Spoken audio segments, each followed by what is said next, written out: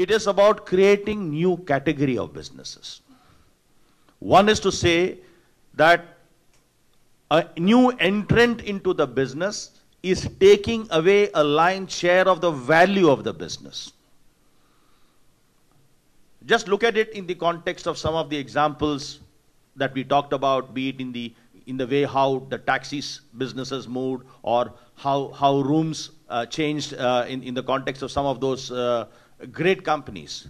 Fundamentally, what we are trying to do is a new category of a company, which is essentially saying that I will take away the maximum value that is there in this business. I'm not looking at it as market share and so on. I'm taking away the maximum value that is available in this business in quick time.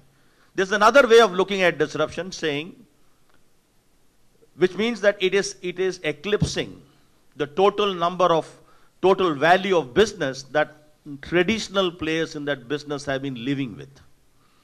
So the level of thinking that one really has to go to make that happen has to have a fundamental, very deep rooted, a very deep rooted understanding of that marketplace in quick time and maybe looking at what is the customer expecting as, as we go along.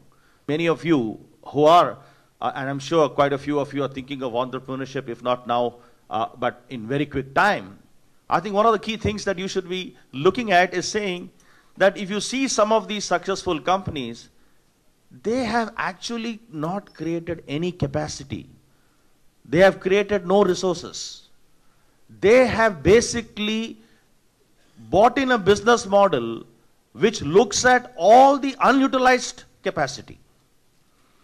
If I, as an owner of a vehicle, I am using my vehicle only for four hours a day, I have an unutilized capacity of 20 hours a day. How do I leverage it? It is not creating a new vehicle that I have to buy to get into this business. It is leveraging an existing capacity of business, existing capacity. Similarly, I have a home, which I have room, which I can lend, which is not, my capacity is not full. I'm using it only for 50%. I have another 50% available with me. And hence, since I have that with me, I'm just giving it away. No new capacity is built. There were traditionally, at the time perhaps when I studied my management or whatever, it, I was told capacity, resources are very limited. learn how to conserve. It is capacity utilization and so on. But somewhere down the line, look at the way word the digital digital entrepreneurs are changing. Look at how they are leveraging capacity. So fundamentally, it is it is the, when you talk about it from an innovation point of view, maybe we would have looked at greater efficiency, get down to a traditional method of how, what is your costing, this, that, and so on, and saying that I will be able to reach out into the marketplace, get into digital media, and be able to reach customers. But here is somebody who came back and said, I will build no capacity, but I will leverage capacity. There's the thinking that you have to you have to look at is very different. And all of this comes out of a very simple statement, which is where I think in whichever function you work today in the organization. You may be in finance, you may be in accounts, you may be, you may be in marketing, you may be in systems. Fundamentally, you have to understand you have to be conscious of the experience of the consumer. And unless you're conscious about the experience of the consumer, you look at every one of these recent innovations, starting from e-commerce in India to, uh, to, to, taxi services, room, uh, uh, room services, and so on, fundamentally, every one of them touched multiple use cases of user, user experiences. The experience the user wants, the ease, the functionality is only one part of it.